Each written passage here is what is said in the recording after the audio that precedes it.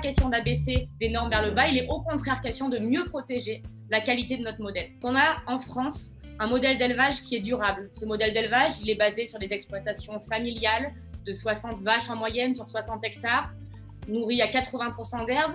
Mais ce modèle-là, il est beaucoup plus coûteux à produire. Et on sait aussi qu'il ne peut pas rivaliser avec des fermes-usines, telles qu'on en a beaucoup euh, sur le continent américain, qui contiennent 30, 40, 50 000 animaux dopés aux antibiotiques, nourris aux farines animales. Or, ce sont bien les viandes de ces systèmes qui sont aujourd'hui importées en toute légalité sur le marché européen. Ce problème de mise en concurrence de nos éleveurs français avec ces systèmes de production va s'aggraver au cours des prochaines années en France et en Europe. Tout simplement parce qu'on multiplie aujourd'hui la conclusion d'accords de libre-échange.